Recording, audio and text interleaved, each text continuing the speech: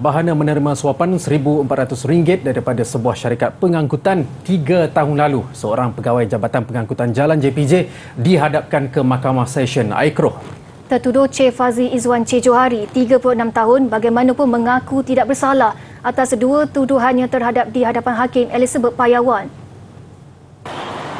Mengikut kedua-dua pertuduhan, tertuduh sebagai pegawai pemeriksa kereta motor di JPJ Melaka didakwa menerima wang berjumlah RM700 sebanyak dua kali daripada seorang pengurus syarikat sebagai dorongan melindungi dan tidak mengambil tindakan terhadap pemandu lori syarikat berkenaan perbuatan dilakukan di sebuah bank di Batu Berendam Melaka 6 Februari dan 3 Jun 2020. Sabit kesalahan tertuduh boleh dipenjara maksimum 2 tahun atau denda atau kedua-duanya sekali. Dia dibenari kad jamin RM1,000 sementara sebutan semula kes 10 April depan.